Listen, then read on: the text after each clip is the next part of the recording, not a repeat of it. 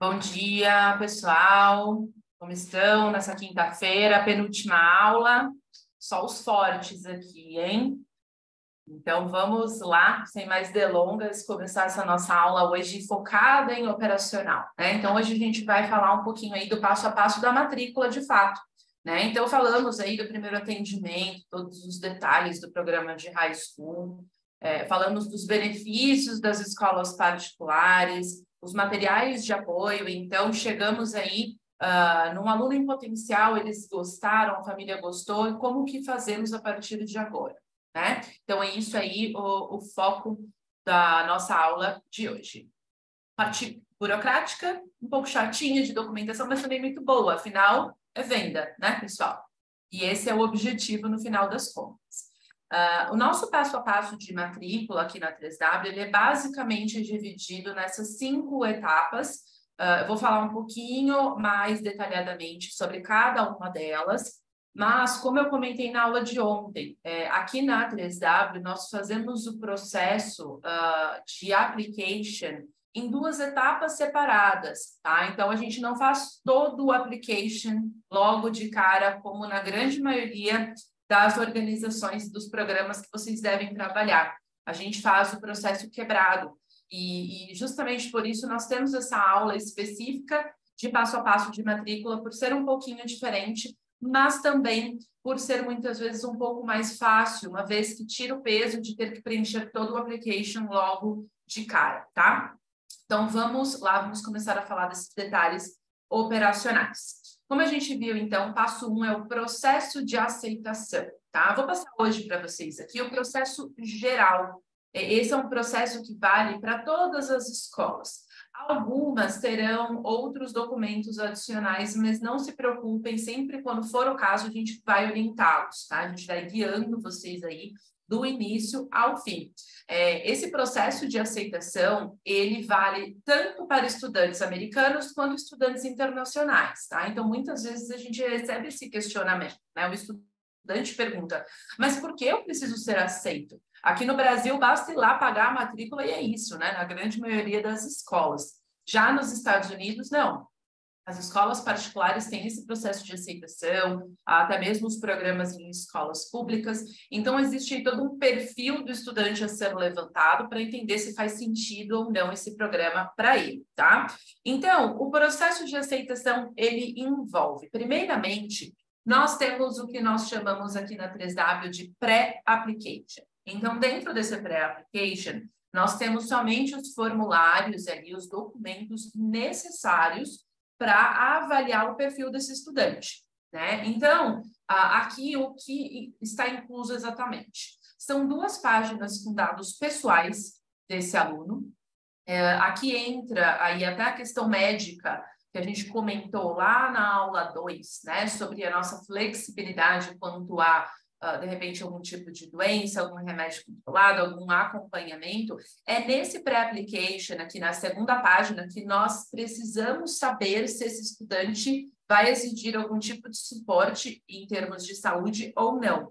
A gente ainda não precisa de assinatura de médico nesse momento, tá? A menos que a gente identifique a necessidade de um laudo do médico. Mas, inicialmente, aqui é, é preenchido apenas pelo estudante e pelos pais. Tá? Então, são todos os dados pessoais dele, os objetivos dele. Ele tem que fazer uma carta de intenção, né? A gente fala aí a student letter, é uma carta de intenção em inglês, a gente recomenda aí pelo menos três parágrafos de student letter, contando um pouquinho sobre ele, uh, sobre os objetivos que ele tem, por que ele gostaria de fazer esse high school, né? Então, essa carta de intenção é onde o aluno vai, vamos colocar entre aspas aí, se vender para a escola. Então, a escola tem que entender por que, que ele uh, tem um bom perfil, tá? Para eles. Além disso, dentro do pré-application, nós também temos dois questionários de recomendação um do professor de inglês e outro do professor de matemática da escola aqui do Brasil. É, são modelos de recomendação. Ele é bem simples, o aluno leva na escola, o, o professor preenche e assina. Então, em geral, é bem tranquilo. Um, então, o pré-application é só isso, tá? Então, aí são os documentos realmente essenciais, são os formulários essenciais para avaliar o perfil do estudante. Além do pré-application, nós também vamos precisar do histórico escolar original, a cópia do histórico escolar original. A gente costuma pedir dos últimos quatro anos, tá? Porque tem algumas escolas que pedem dos últimos três, outras pedem dos últimos quatro. Então, via de regra, vamos colocar aí dos últimos quatro anos. Em geral, esse estudante vai pegar ali o histórico escolar do ensino médio, uh, o parcial do ensino médio e o do ensino fundamental. Na grande maioria dos casos, ele finalizou o ensino fundamental, tá? Então, dos últimos quatro anos uh, com tradução.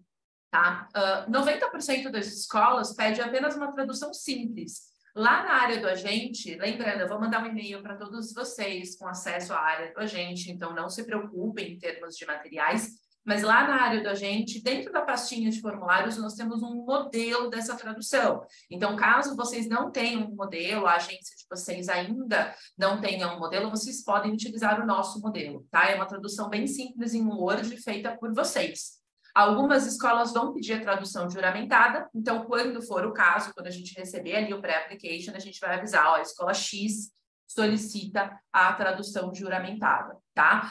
Uh, voltando rapidamente no pré-application, esqueci de um detalhe bem importante. Na segunda página do pré-application, uh, vocês conseguem colocar ali três escolas de preferência do estudante, tá? Então, esse, esse processo inicial, ele é feito para mais de uma escola se o estudante quiser. Acontece bastante do estudante estar em dúvida entre uh, duas ou três escolas, ou muitas vezes a gente identificar que o nível de inglês talvez não seja tão alto, as notas não são tão altas, então vamos trabalhar com o plano B, o que muitas vezes é a nossa recomendação, tá? Então, esse documento inicial a gente vai, a gente pode mandar para mais de uma escola se o estudante quiser. Tá? Então, aqui uh, é muito comum a gente fazer o processo, na grande maioria das vezes, para pelo menos duas escolas. Tá? Além disso, então, pré-application, notas, temos também o teste de inglês, tá? O teste de inglês clássico do high school, que é o ELTS, né? Diferente do IELTS, tá? Esse aqui é o ELTS, uh, antigo SLAP test, né? Que a gente utilizava nas agências, ele é aceito pelas nossas escolas, tá? Então, vocês fazem o ELTS aí na agência mesmo. Porém, se o estudante já tiver um outro certificado, outro teste de inglês, de repente o aluno tem um certificado do Cambridge, alguns já têm TOEFL, porque a escola aqui no Brasil pede, a gente pode utilizar, tá? A gente manda para a escola é, e, e, muitas vezes é aceito. Então, quando for o caso, apenas nos comuniquem, tá? Se o estudante tiver algum certificado de inglês. E, por fim, né, feito tudo isso, então, uh, preenchendo toda essa documentação, a gente agenda a entrevista em inglês tá? Uh, algumas escolas pedem apenas uma entrevista, outras podem pedir duas entrevistas. Então, novamente, quando for o caso, a gente vai avisar, tá? Ó, a escola X pode vir a solicitar uma segunda entrevista. A grande maioria é apenas uma entrevista. Essa entrevista dura aí mais ou menos 15 minutinhos. A gente tem um guia para entrevista, tá? Então, dentro do pré-application, na última página, a gente fala um pouquinho da entrevista para o estudante se preparar. É um bate-papo, tá? Eles muitas vezes ficam super nervosos, mas não tem necessidade.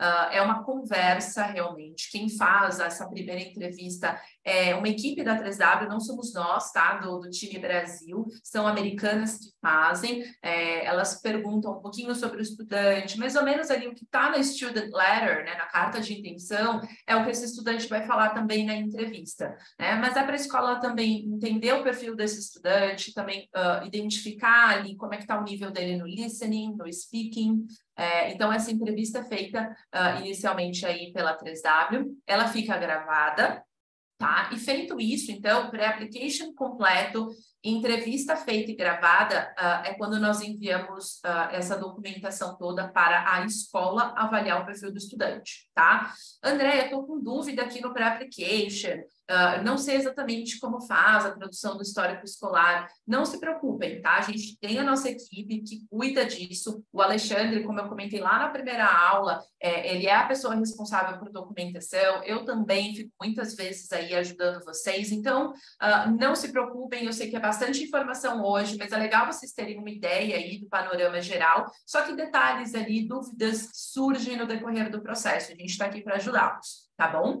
Feito tudo isso, quando a gente mandar o pré-application e a gravação da entrevista para a escola, o prazo de resposta da escola de 10 dias úteis, tá? Eu tenho escolas que são bem rápidas e eu tenho escolas que demoram tudo isso, tá bom? Então vai depender um pouquinho do perfil da escola. A gente padroniza esse prazo de 10 dias úteis, passem esse prazo para o estudante de vocês, então por isso a antecedência ela é super importante, é, mas quando for o caso, quando a escola for um pouco mais lenta, a gente avisa, tá? Muitas vezes a gente vai informar para vocês ali no atendimento, no momento que a gente estiver fazendo a consulta juntos, e quando a escola for rápida também, tá? Então, se a gente precisar fazer uma matrícula com um pouco mais de rapidez, quando for os casos aí dos last minutes, né? Aqueles que aparecem aos 45 do segundo tempo que a gente aceita, tá bom, pessoal? Chegou julho ali, tem uma matrícula em potencial, me chama, tá bom? Que a gente tem ainda a condição de fazer essa matrícula. Aí a gente vai direcionando para essas escolas que são bem rápidas, tá bom? Mas vamos padronizar aí esse prazo de 10 dias.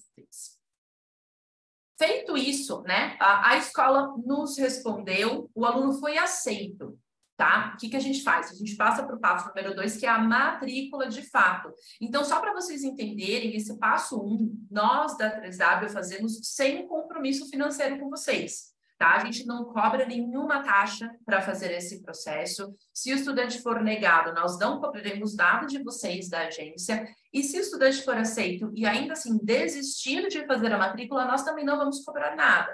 Tá? Então, o aluno ele se torna de fato um aluno na 3W a, a partir desse passo número dois. Então, o estudante foi aceito, nós enviaremos para a matriz da agência de vocês a carta de aceitação. Nós chamamos a carta de aceitação de PLOA. P-L-O-A, é Pre-Letter of Acceptance, tá? Então, a gente vai mandar a PLOA do estudante para vocês. Se o estudante estiver aplicando para mais de uma escola e tiver sido aceito por todas, nós vamos enviar todas as PLOAs e aí vocês vão nos dizer qual escola o estudante quer dar sequência, tá? As invoices neste momento. Nós enviaremos o application da escola escolhida, né? Então, nós temos, como eu falei, o processo é quebrado em duas etapas. A gente tem o pré-application, uma vez que o aluno for aceito, nós temos o que nós chamamos de complete application, tá? E aí sim, nesse complete application, entra a parte médica, assinatura de médico, os contratos, uh, uso de imagem, a gente vai precisar de mais detalhes sobre o estudante, né, o background acadêmico desse estudante. Então, aí entra a parte um pouco mais chatinha e burocrática. Mas é bacana, pessoal, porque a gente tira esse peso né, de fazer todos esses trâmites antes da aceitação. Né? Então, é muito desgastante o aluno fazer todo o application sem nem saber se foi aceito. Então, quando ele fizer toda essa parte um pouco mais extensa né, e complexa, ele vai fazer já estando com a carta de aceitação em mãos. Tá? E é nesse momento que a gente manda também o manual do aluno. A gente viu na aula de ontem, né, o manual do aluno, todos os estudantes precisam assinar, estudantes, pais, então a gente envia o manual do aluno neste momento também, para que não haja dúvidas sobre a dinâmica do programa. O passo 3 é o application de fato, né? Então, o estudante decidiu prosseguir com a matrícula, né? A gente mandou tudo isso, aí a gente vai dar entrada no application e partir também para o visto. Então, é a etapa número 3.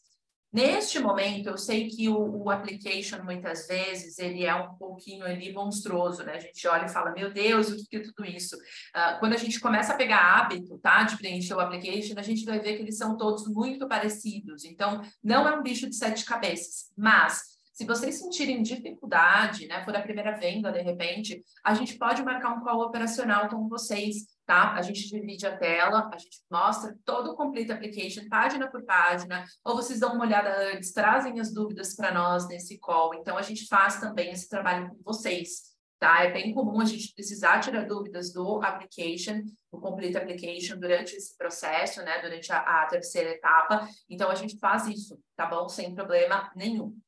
Uh, o prazo para preenchimento do Complete Application e assinatura do manual do aluno é de 30 dias corridos, tá? Então, hoje, dia 9 de, de uh, fevereiro, mandei para vocês, aí o Alexandre vai mandar para vocês o Complete Application, vai mandar a PLOA, vai mandar o manual do aluno. Dia 9 de março, a gente precisa ter tudo isso em mãos, tá? Uh, procurem se atentar a esses prazos. Eu sei que muitas vezes não depende só de vocês, e sim da família, mas os prazos existem por um motivo, para a escola é muito importante, né, que a gente mantenha esses prazos, até para que uh, todo o processo corra da melhor forma possível, tá? E principalmente, pessoal, sem complete application, uh, a escola não emite o I-20. O complete application precisa estar na íntegra, completo, tá? Para que a escola faça a emissão do I-20. Então, a gente vai ficar no pé de vocês também, tá? Se a gente vê que está demorando um pouco, se estiverem precisando de ajuda, a gente vai entrar em contato para entender o que está faltando, né? Ah, é uma parte médica, às vezes a gente sabe que isso demora um pouquinho. Então, procurem respeitar esse prazo. Se for atrasar, avisem o Alexandre, tá? E aí ele já vai informar a escola também. Mas é importante a gente tentar manter esse prazo para a emissão do VIT ocorrer uh, no mais rápido possível, né? Então, feita aí todo o preenchimento do Complete Application, está correto, vamos mandar para a escola e aí ela faz a emissão uh, uh, do I-20 para que o estudante tire o visto de estudante, né? Que é o visto F1. Tá? Uh, a emissão do I-20, pessoal, depois que a gente manda o Complete Application para a escola, a escola tem um prazo de 10 dias úteis para fazer a emissão desse documento. Novamente, algumas são super rápidas, algumas escolas, sinceramente, em dois dias eu tenho esse 20 para passar para vocês. Outras, é esse prazo mesmo, tá? Existe uma pessoa específica da escola que faz a emissão, e aí essa pessoa tem um monte de 20 para fazer, e ela faz em datas específicas. Então, novamente, os prazos, né, eles precisam ser respeitados. Se for passar o prazo, avisa, para a gente não uh, perder ali, né, é, esse prazo de I-20, que é um documento essencial aqui no processo, tá? Uh, o I-20 está vindo por e-mail físico, não vem mais, tá? Desde a pandemia isso foi abolido e eu espero que continue assim, porque é muito mais fácil para todos nós né? Para quem não é aí, para quem tá, de repente está começando no mercado, antes da pandemia vinha por o original por correio expresso, então demorava mais ainda, né? Do que esse prazo e às vezes extraviava, então era uma dorzinha de cabeça. Hoje a escola faz a emissão e manda em PDF ou para a gente ou para o estudante, depende um pouquinho da escola, tá? Via de regra, o estudante vai receber no e-mail dele esse 20, mas algumas escolas mandam uma cópia para a gente também a gente vai mantendo alinhado ali. Né? Então, a gente avisa vocês, ó, oh, a escola mandou o I-20 para o e-mail do estudante, pode pedir para ele conferir, para ver se está tudo certinho. Então, a gente vai avisando vocês, tá? Então, sempre aí em PDF mesmo, o que facilita bastante né, a, a vida. Então, o I-20 ele tem que ser uh, levado tanto na entrevista uh, do consulado, né, é um documento essencial para agendar a entrevista, o estudante precisa ter o I-20 em mãos na entrevista e ele precisa ter o I-20 em mãos no embarque. Ele vai ter que apresentar esse 20 tanto no check-in quanto na imigração. Então, o estudante não pode nem sair do Brasil sem 20, tá bom? Muito bem, feito o passo número 3, o estudante tirou o visto, tá tudo certinho, a gente vai para o passo número 4, né? Que é, de fato, o embarque, o momento que nós enviamos os vouchers, os formulários finais, tá? Então, neste momento aqui no passo 4, uh, ah, quais são os formulários finais, tá? Em geral, a gente faz aí, manda para vocês cerca de quatro semanas antes do embarque, o handbook da escola, que é o manual da escola, né? Então, a gente falou um pouquinho das regras do boarding, das regras da acomodação, das regras da escola. Tudo isso está dentro desse handbook, que também vai ter que ser lido e assinado pela família, tá? Em geral, a gente manda aí quatro semanas antes do embarque, porque o handbook da escola, ele é atualizado anualmente. Então, uh, o ano letivo finalizando ali uh, no final de maio, início de junho, a escola só depois disso vai olhar todo o manual, entender o que precisa ser mudado, o que precisa ser acrescentado. Então, geralmente, a gente só recebe esse manual atualizado no final de junho, início de julho. Então, nesse momento, a gente manda para vocês o manual da escola. Uh, a gente manda também uh, uma declaração de saúde essa declaração de saúde é apenas para a gente entender se houve ou não algum update em relação à condição médica do estudante, tá? A gente acrescentou esse documento porque Alguns alunos fazem a matrícula com antecedência, como deve ser feito, né? Uh, fazem aí com seis meses ou mais de antecedência, e às vezes, né, no, no decorrer do processo, o estudante uh, descobre alguma condição, começa a tomar algum remédio, ou começa, por exemplo, a fazer um acompanhamento, uma terapia, e a gente ficava sem saber, né? Então a gente descobria durante o programa, quando a gente olhava o application do aluno, não tinha nada, e aí os pais falavam, não, é que começou depois. Então a gente costuma mandar quatro semanas antes do embarque para a família falar, não, continua tudo igual, ou não, não, a gente descobriu isso aqui, agora ele está tomando tal remédio. É, então a gente acrescentou esse form uh, aí, né, no, nesses forms finais, essa declaração de saúde, tá? Nesse momento também a gente vai precisar receber os dados de voo do aluno, né? O Arrival Form. A gente costuma enviar o calendário da escola para vocês, tá? Uh, lá para abril, mais ou menos, que é quando a escola faz o calendário do próximo ano letivo, né? Então, antes disso, a gente não tem as datas de chegada, tá? A gente costuma ter ali por volta do mês de abril. Aí a gente vai mandar para vocês o calendário, a data que tem que chegar, a data que tem que sair, o aeroporto e este arrival form. Então, é este o prazo aí de quatro semanas antes do embarque, a gente precisa ter o arrival form em mãos, tá? E se a escola tiver algum outro form final, algumas têm uh, teste de inglês que o aluno tem que fazer antes da chegada, teste de matemática, a gente vai mandando para vocês, tá? Neste momento também, cerca de quatro semanas antes do embarque, a gente faz a nossa orientação para embarque online, tá? Então, a gente faz, eu quem faço essa orientação, uh, a gente vai falar todos os detalhes para o estudante, tá? A gente fala aí sobre o embarque, quais documentos ele precisa ter em mãos, como que funciona a chegada, como funciona a casa de família, o boarding, as regras da acomodação, refeições, muitas vezes a, a refeição, né, a alimentação, nos Estados Unidos é um pouco difícil a adaptação, então a gente reforça um pouco mais sobre isso. A gente fala das matérias obrigatórias, a gente fala sobre o seguro-saúde, né? Então, essa orientação para embarque online ela é obrigatória para todos os estudantes uh, responsáveis pelo estudante e também para vocês, agentes. Né? Então, muitas vezes aqui a gente já vai sanar quase todas as dúvidas desse aluno e eles embarcam muito mais preparados né, tanto na questão do embarque em si, mas também ali no primeiro mês, né, em termos de adaptação, tá? A gente costuma mandar os vouchers finais, mais ou menos três, vou colocar duas a três semanas, tá, antes do embarque. Quais são esses vouchers finais, né? Então, a gente manda a, a confirmação de acomodação do, do, estudante. Então, quando for casa de família, o aluno recebe o placement dele cerca de três semanas antes do início né, do, do programa dele. A gente manda com essa antecedência para o aluno uh, ter a oportunidade de conversar com a família antes da chegada. A gente recomenda que eles façam pelo menos uma videochamada com essa família, então, mais ou menos aí três semanas antes do embarque. A gente também manda a, a pólice do seguro-saúde quando for o caso. Algumas escolas entregam no primeiro dia de aula, outras a gente tem a pólice antes, então a gente vai informando caso a caso.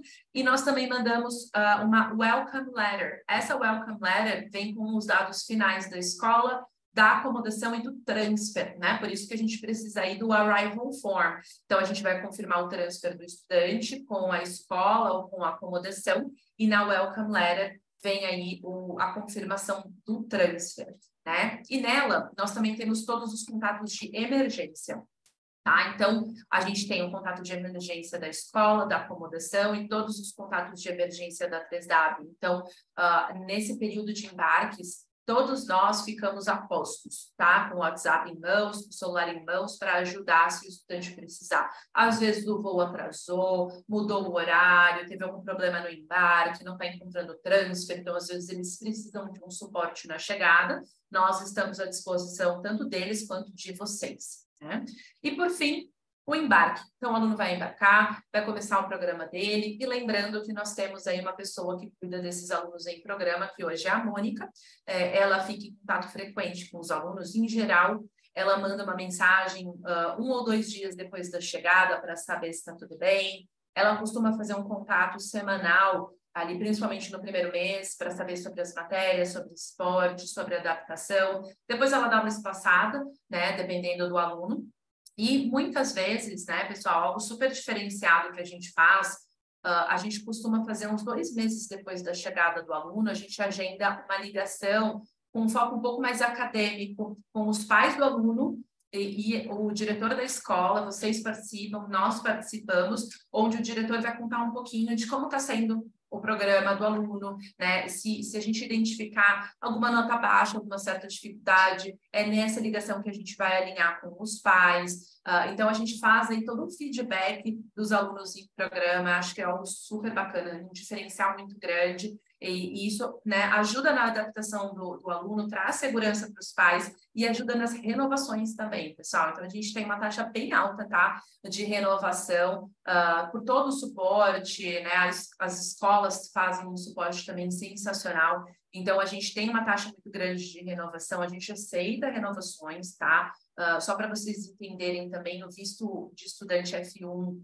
atrelado à escola particular os estudantes podem uh, estudar por mais de um ano, tá? Não tem limitação quanto à duração, então eles podem estender, ficar dois ou três anos. Então, nesse momento aqui também, nessa ligação, a gente busca essa renovação que é boa para todos nós, né? E aqui eu trouxe para vocês só um exemplo, tá? Do handbook da escola, só para vocês terem uma ideia de como funciona. Aqui é um mix de algumas escolas, tá? Mas, novamente, é um manual, ele é um pouco extenso, são várias páginas, mas aqui a gente tem aí todos os detalhes, né? Então, quais são as tarefas que o aluno vai ter na casa, né? Uh, dúvidas sobre o dress code, sobre o uniforme, uh, sobre os finais de semana, transporte, todo o suporte acadêmico, uso de eletrônicos na escola, uh, o curfew, né, que é o horário de saída da acomodação. Então, aqui muitas vezes a gente sana em todas as dúvidas, né, também do estudante. A gente sempre tem o handbook do ano atual, tá? Então, muitas vezes a gente manda para o aluno para ele já ter uma referência. A gente pode sempre passar para vocês, mas um ou outro ajuste pode acontecer na virada do ano letivo, tá? Muito bem, isso aí é a matrícula. Uh, vamos lá para a aula de amanhã. Última aula, hein, pessoal? A aula de amanhã a gente vai falar primeiramente de um tópico bem importante, como emitir o meu certificado, né? Vocês chegaram até aqui, nós temos o certificado do curso High School Expert, então amanhã eu vou passar aí as diretrizes para vocês receberem o certificado de vocês. E para fechar com chave de ouro, nós vamos falar sobre três escolas que nós chamamos de coringa aí, né? Escolas que têm um bom perfil para brasileiros, escolas que são rápidas no processo de aceitação, que estão oferecendo bolsa de estudos para os nossos alunos. E é bacana porque aí vocês vão ter uma visão mais global de como que funcionam essas escolas das matérias, dos esportes, vão ver fotos e vídeos dessas três opções, tá? Então, a Marianápolis e a Notre Dame são boarding schools, e a St. Francis é uma opção aí de escola em homestay. Então, amanhã a gente vai fechar com chave de ouro aí, com essas três escolas sensacionais.